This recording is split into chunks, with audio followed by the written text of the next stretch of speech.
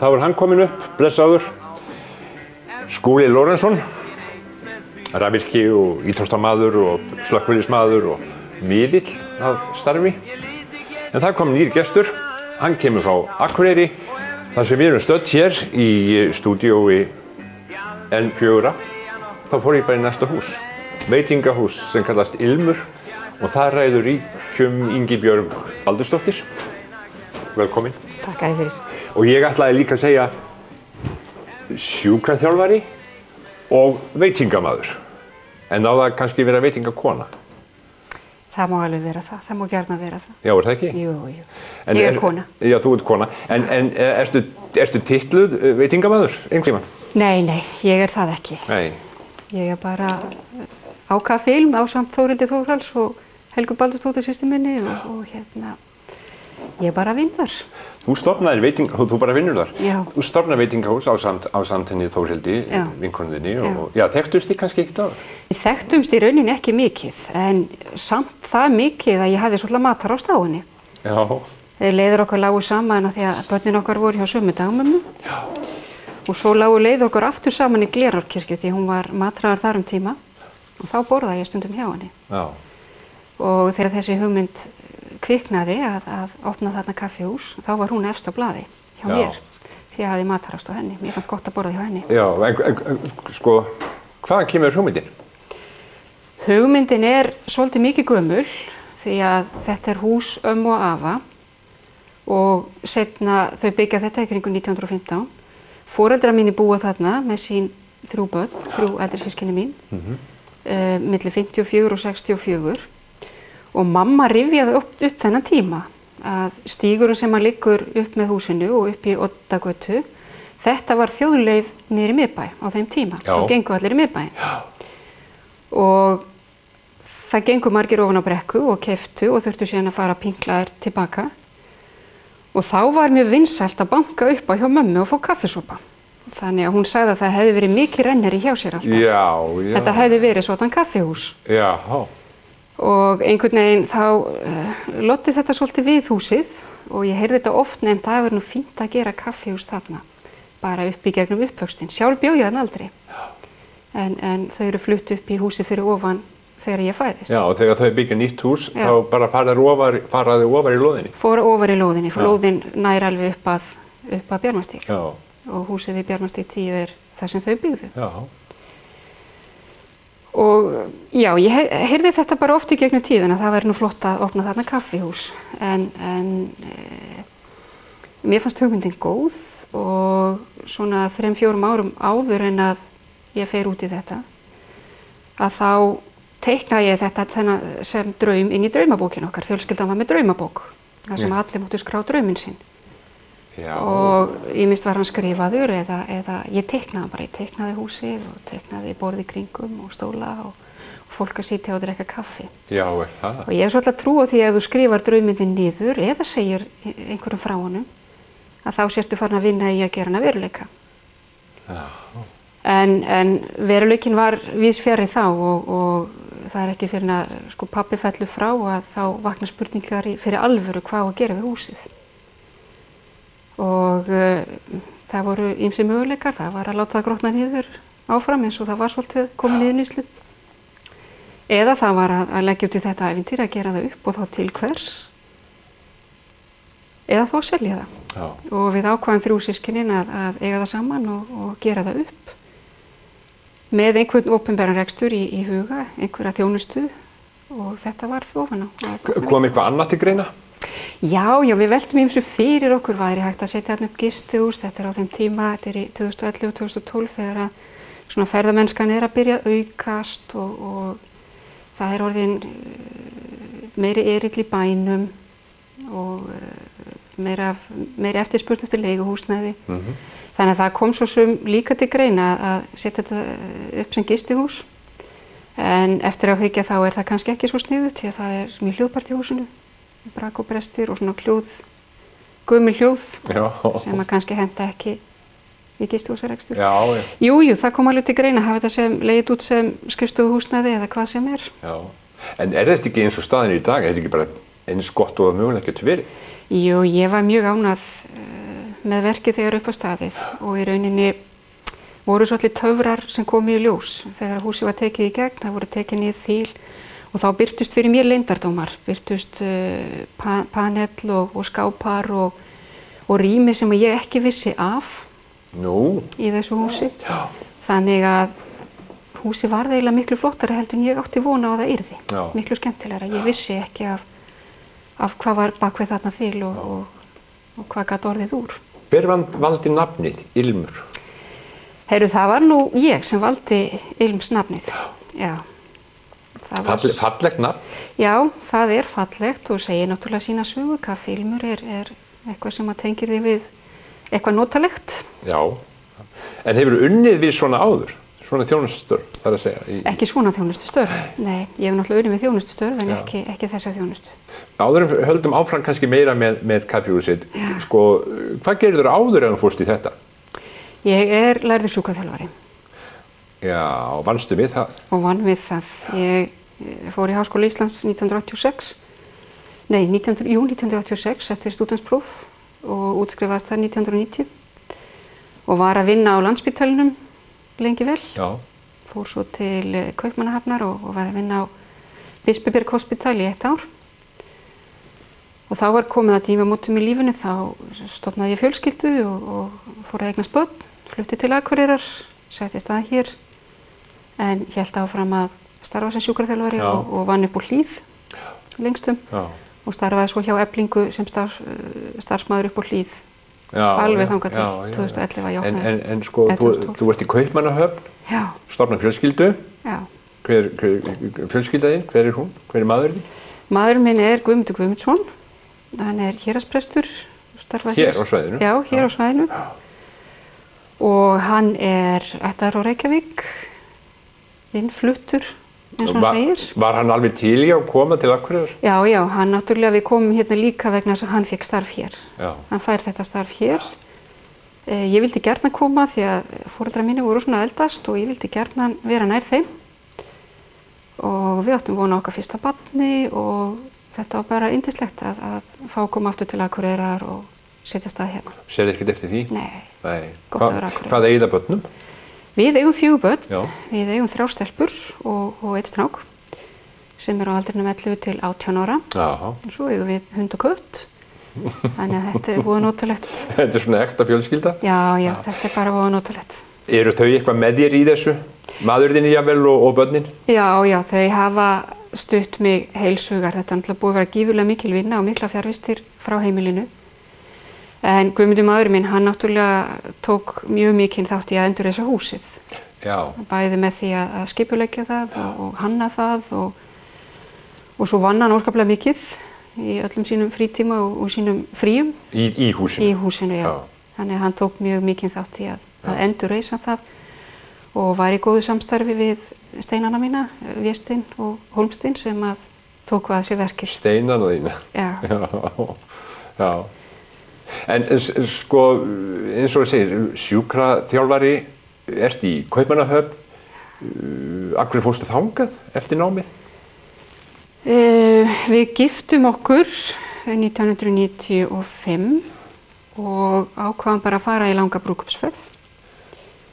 Þannig að uh, ég sótt um vinnu í Kaupmannahöfn til þess að við hefðum einhverja tekjur þarna og, og hann sótt um styrk, rannsóknarstyrk til þess að fara í framhaldsnám Já. og var í framhaldsnámi við, við Guðfræðdildina í Kaupmannahöfn þessa mánuði og ég var að vinna. En við nutum líka lífsins og, og ferðumst mikið. Við hjóluðum um Sjáland þvert og endurlögt og fjón, gengum um Noreg, fórum til Þýskaland, Borgundur Holms. Þannig að, að við nutum lífsins en, en unnum fyrir okkur svo við. Já, já. Er, er, er svona útheimist og ferðalög í blóðinu? Já, já, það er það. Gamla slíku? Já, Hefur þá eitthvað geta gert síðan og opnaði veitingás? Geta farið í svona frí? Nei, það hefur verið svona, sko það að opna kaffilm er búið að vera svona eins og verið í fæðingu og, og kaffilmur er svolítið eins og fymta batnið og sem er á spenna ennþá, Já. búið að vera á spenna og er á spenna ennþá, en það tíumfél gengur vonandi yfir. Já. Við erum nýkomin úr ferðalagi og, og uh, krakkarnir hafa verið duglega að ferðast og, en það hefur verið minna. heldur en hinn árin og, og uh, út, af, út af önnum þar. Já, já. En, en uh, Danmörk, hvernig fór hún í þig? Índislega. Er það? Já.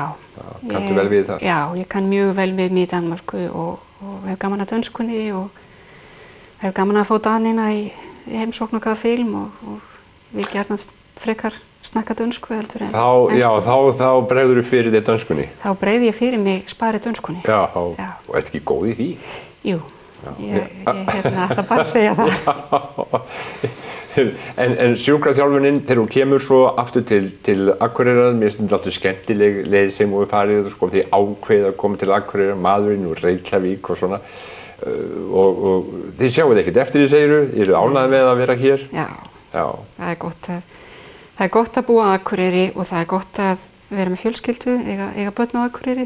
Að, að, og mér leiði sérstaklega vel við að koma aftur í miðbæin, ég er alltaf alin upp hérna í miðbænum. Bjó, við byggum fyrst í innbænum og svo brekkunni, það var mjög gott, já. en það jafnast ekkert á við miðbæin. Fóreldraðinir, hver voru þau? Pappi minn var Baldur Ingimarsson, hann var livsali í stjórnapotekki, rak það í 40 ár, ef maður rétt. Hann er akureyringur og hann er fættur í Ingimarshúsi þar sem kaffilmur er núna. Hann er fættur þar? Já, og hann er Ingimarsson, hann er sonur Ingimars sem reisti Ingimarshús. Já, og þe- þetta heitir Ingimarshús eða var kallað Já, þar? Það var kallað það, það fann ég í gömlum pappýrum. Það leik vafi á því hvort það tilheyri Hafnastræti eða hvort það tilheyri Ottagötu. Þannig að lengi vel var það bara Ingimarshús, kent við sinn eiganda.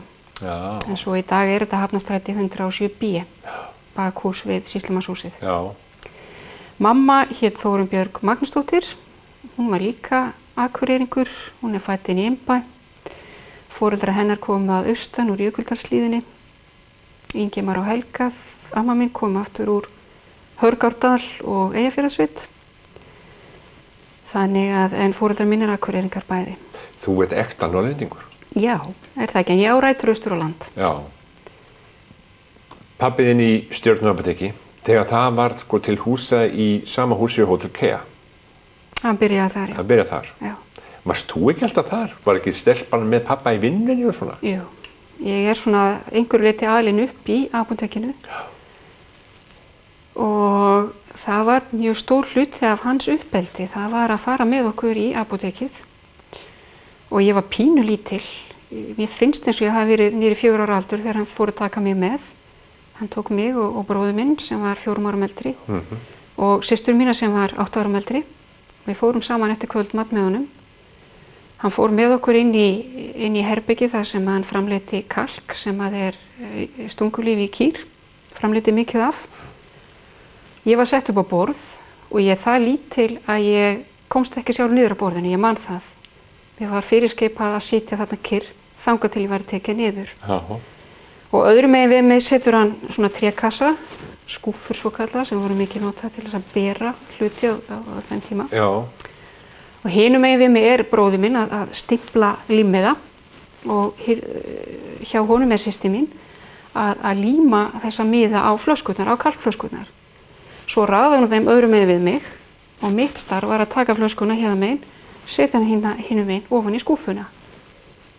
Hann stimplaði, hún límdi, hann bjóti færiband, ég fekk flöskuna og sett hann í kassa. já. Svo þegar kassin var fullur þá var kallaði pappa og hann tók kassan og kom með annan tóman og svo var það upp í hillu. Já. Þannig að svona byrjaði minn starfsferill, vinnuferill og það sem að hann skildi svona mest eftir sig hjá okkur var, var æðstadigðin og það var yðjusemi. Já, Það var æðstadigðin í hans lífi og hann gerði ekkert annað en að vinna. hann gerði ekkert annað en að vinna. Hann naut lífsins, hann las mikið, hann hlustaði á útfastætti, hann hlustaði á tónlist, en annars var lífið svolítið mikið vinna. Já, hvarlaði aldrei að þér að fara inn á þessa braut, fyrst þú varst nú byrjuð að vinna í því svona lítið stelpa. Nei, það kvarlaði ekki að mér, held ég, ég bara fann það að þetta var ekki, ekki minn vettfangur, Nei, en aftur á móti sýsti mín lífsali, ég er lífafræðingur. Fetaði hans fótspor, en hérna nei, en ég held mig við hvíta sloppin. Þú helst yfir kvítasloppi. Já. Já, fórst í, sjúk, í sjúkratjálfun. Já. Hvers vegna? Ég veit það svo sem ekki nákvæmlega hvers vegna ég valdi í sjúkraþjálfun. Þetta var náttúrulega bara orðin svolítið pressa að velja sér einhvern framtíðastarf og ég vissi að einn sýstra minna hafði svolítið gælt við þetta og þess vegna stundum talað um það heima hjá mér. Og ég bara lagði á stað í þetta. Varstu eftir dugli í skóla? Já, ég var svolítið dugli í skóla. Ég var svolítið vinnusum, ég náttúrulega hafði það, fekk það í blóðið Já. að vera vinnusum. Þannig að það var nú kannski aðalega það. Kemur það ekki fram í, í veitingaresturinn? Ég veit það ekki. Jú, jú, ég er mjög dugleg á kaffeilum, ég verð að vera það. það Já. þetta er eins og að vera í fæðingu eins og ég Já, og þú bara verður að vera duglegur í fæðingu. já, já, Já. Já, já, það er einmitt. Ingi Björg, gaman að spjalla um þetta. Eh, Nú vil ég fá að vita hvað lag þú valdir. Já, ég valdi mér skal ég segja þér lag úr uh, eftir Jóhangi Jóhansson við texta eftir Þorvald Þorsteinsson lag úr skilabóðskjóðunni sem er snildarverk eftir Þorvald. bór, bókmæntaverk eftir Þorvald Já. Og lagi sem ég valdi er lag sem er búið að sem ég er búin að syngja mikið síðast árið Nú, eh, og er vöggusöngur eða vöggulag möttumömmu þegar hún er að syngja fyrir putta litla svon sinn áður en að fyrir að sofa og meðal annars syngur það fyrir hann kvöldið fyrir nóttina örlega ríku þegar hann týnist út í æfintýra skóinu. já, já, við skulum hlusta á það. Mjúkin milda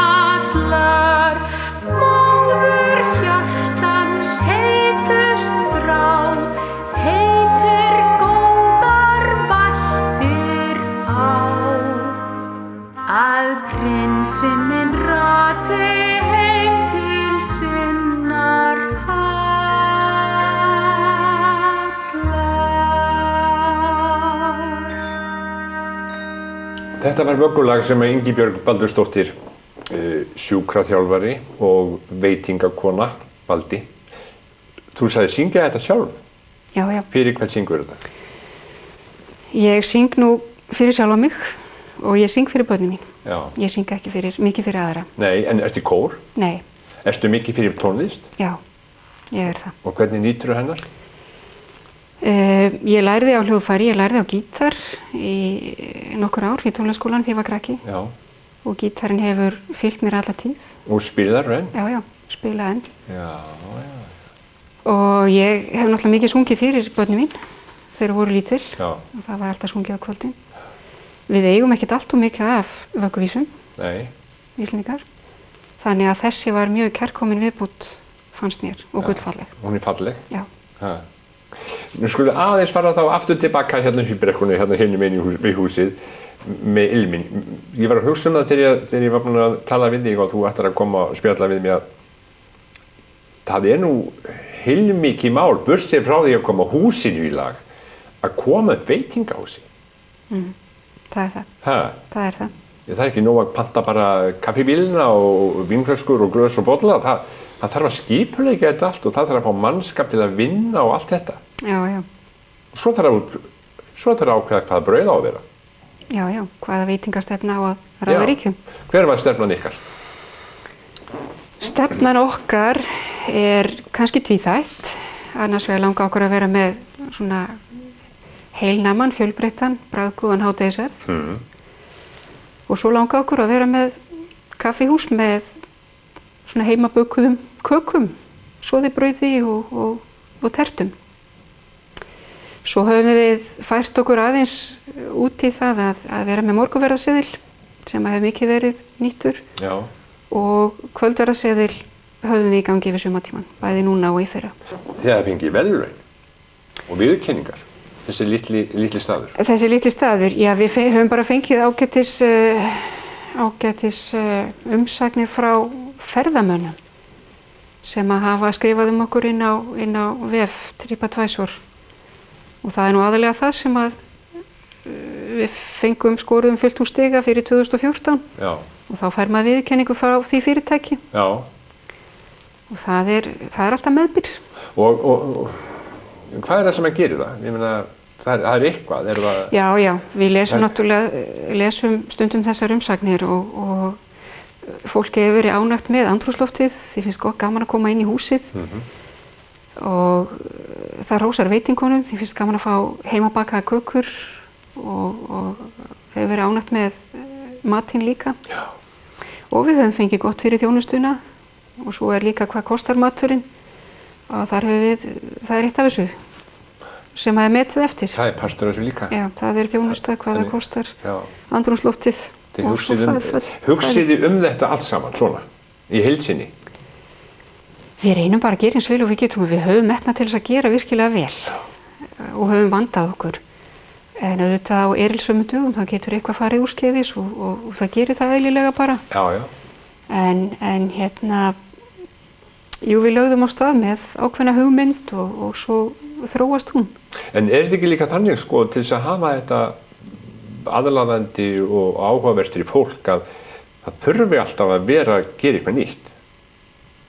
Þurfi ekki að koma með eina kökur kannski svona mánaðalega eða hálsmánaðalega? Jú, við þurfum svona aðeins að, að hugsa út í það, sérstaklega því við höfum mikið af fastakúnum, að breyta aðeins til Já. eða, eða breyta upp á einhverju nýju. Við þurfum að gera það. Þetta er náttúrulega allt, allt annað heldur en þú hefur verið að vinna í. Já, já. Hvernig, hvernig fannst þetta þú breyttir úr sjúkaþjálfaranum yfir í veitingakonuna? Það var náttúrulega svolítið átak af því að ég er heldur ekki, hef ekkert staðið í viðskiptum áður nema með allt verum hætti Já, og þetta er svolítið svartól að horfa inn í hvað er ég, út í hvað er ég að fara og eina sem ég hafði var draumur, teiknaður inn í einhverja bók og, og, og vilji til þess að, að gera þetta. Mhm. En ég fór á námskeið hjá Impru þar sem ég bjóða upp á það að þróa viðskiptahugmynd og þar, þar byrjaði ég að fá svona pínlít, þá fór ljósin aðeins að kvikna og ég fór að sjá ímislegt hvernig, verðandi rekstur þá. já, hvernig maður ber sig að Já, og uh, fór að skipuleggja og, og þess aftar. Síðan skellti ég mér í símei líka og fór á bókaldsnámskið til þess að geta haldið utanum fjármálinn sjálf. og gerir þú það sjálf? Já, ég geri það sjálf. Já, Svona allt mánaðarlegt ger ég sjálf. Já. Send út reikninga og borguð laun og, og þess aftar, já. Ertu með skrifstofu þarna eða? Ég er með uh, svolítið aðstöðu heima og svo bara tölvu niður frá. Já. Kemur að því að þú gefst upp á bókaldinu og vilt bara vera í, í reksturinnum að öðru leiti og færið einhvern í þetta? Nei, nei, ég finnst bókaldi líka skemmtilegt því að þá ertu með puttan á púlsinu, þetta er bókaldi mitt, þetta er bókaldið okkar, fyrirtækisins okkar Já. Og ef maður gerir þetta sjálfur þá er maður alltaf með puttan á púlsinum strax. Já. Ég fæ ekki upplýsingar tvei mánuðin setna um, um hvernig, hvort það er hagnaður eða tap á fyrirtækinu, þannig að ég veit þetta nokkurn veginn. Má ég spyrja, er hagnaður að tapa fyrirtækinu? Það er náttúrulega góður hagnaður yfir sumatíman. Já. Vetratímin er upp og ofan. Já, hvern, já hvernig, hvernig er vetratími? Hvað, hvað gerir til þess að fá fólk þá?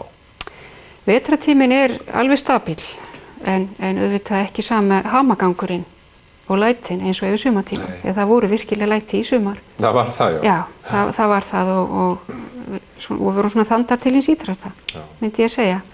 Veturinn er róleri en þá fækkar starfsfólki líka, þá fyrir skólafólki í skóla og uh, kemur bara á, á vaktir, kvöld og helgarvaktir. Mhm. Þannig að umsvifin eru minni en, uh, en þau eru samt stöðug. Já. Já, Þegar þú stendur niður í Harmastræti horfur upp í gamla húsið, Ingimannshúsið, sem að búið er að breyta. Já. Hefði einhvern tíma kvarlað að þér að yrði eitthvað svona úr þessu húsi og þú værir að, að gera þetta? Nei, ég held ekki. Ég held að ég hafi ekki trúað því að ég myndi þóra þessu fyrir en áreyndi. Já, það er svo. Já, ég, ég er mjög stolt að ég hafa þórað. Já, Já, ég er mjög ánað með, ég er mjög ánað með það. að þú ert ánægð stigið. með árangurinn. Já, ég er Varstu með- hrætt við að fara af stað? Já, já, vissulega því ég var að taka áhættur Mhm. og, og það er ekkert allir að taka áhættur. En, eh, en það er líka gott að, að þóra stundum og, og bæði að fara út fyrir það endaramma sinn og, og fara að takast á við eitthvað nýtt sem Já, maður kann ekki já. og þarf að læra og, takla. Þannig að hérna, þetta er bara búið að vera þróskandi og skemmtilegt. En er þetta ekki bara, þetta, þetta er komið til þess að vera, þetta er bara eitt af veitingahúsum Akureyri í dag. Já, það vona ég. Það vona ég. Komstu með eitthvað til þess að sína okkur í, í lokinu? Heyrðu já, ég þorði ekki annað. Var ekki annað. Ég kom með þennan hérna. Býtum við, hvað heitir þessi? Hann hefur ekkert nafn þessi en ég ákvað bara að taka þann hlut sem kom fyrst upp í hugminn þegar þú nefndir þetta. Og hann kom strax upp í hug, hugminn. Já. Og þetta er svona, þetta var bjöllukýr eða bjöllukálfur og hann er búinn að fylgja mér alla tíð. Áttur að þetta þegar þú varst lítið stelpa? Já, ég held að, sko, hann er fyrir mitt minni. Hann var alltaf í glugganum fyrir ofan rúmið mitt og var þá með bjöllu um hálsin og, og ég man þegar bjallan var tekin af honum til að setja hann á köttin. Þess vegna er hann ekki með bjöllu í dag, svo kísi færi hann ekki að veiðar. Já. En ég skipti mér svo sem ekkert mikið af honum og lék mér ekkert mikið með hann. Ég held að mér hafi verið gefið þetta bara um það leita sem ég fættist. En hann var alltaf þarna. Og ég held að þetta sé sá hlutur sem ég man lengst aftur í tíman eftir. Já, já. Og svo fór ég að hugsa um það í gær, af hverju valdi ég, af hverju kom þetta upp í, upp í hugan. Já. Og sko ég man þegar ég var að fara í gegnum dánabú fóröldra minna, þá fann ég hann aftur. Hann var alltaf í bermastíknum, þau hendu engum og ég man að fyrsta sem ég gerði, ég var ég tók hann um hugsunar laust og ég sett hann á náttbórið mitt og hann er búinn að vera þar síðan. Og af hverju fór ég að hugsa í gær, þá er það nú sennilega að ég heitlast og veit að ég heitlast mjög af því e, barnalega af benskunni og barnaskap, hann heitla, hefur alltaf heitlað mig. Já. og ég hef barnalegan húmor sem ég ber ekki á borð fyrir aðra en börnin mín. En þau hlæja stundum. Já, já, en það er nú gott að hafa, hafa æskuna eða, já, barnið í sér. já, það er, það er voða gott. Já. það er voða gott að varveita því að það er líka þessi ár fyrstu ár, þau eru fyllt, yfirleitt fyllt ákveðnum friði og, og þetta eru áhyggjuleysasti tími lífsins. Já, að það er gott að, að leita í undir meðutinduna til þess tíma. Það er einhver fríður sem fylgir kálfinu mínu. það er gott. Við skulum vona að það verið áfram. Það var gaman að fá að spjalla við þig og, og, og heyra sögu þessa hús líka. Ingi Björg, Baldursdóttir. Kæru og þakkir. Takk að þér. Hvítum álmar segir